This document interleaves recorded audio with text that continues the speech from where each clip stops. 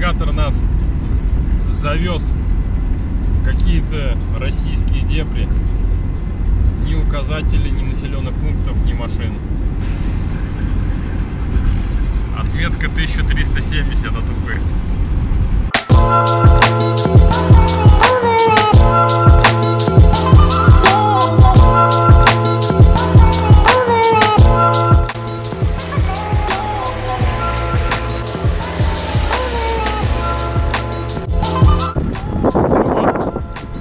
Отметка 1400, мы доехали до непонятного места, даже не знаем, как это называется. Нашли вот такой вот живописный храм.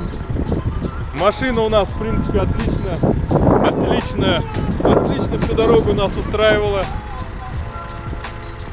Нигде ничего, не, короче, не сломались. Ночью мы не, сни... эту ночью не снимали, мы практически не останавливались, там на пару часиков поспать.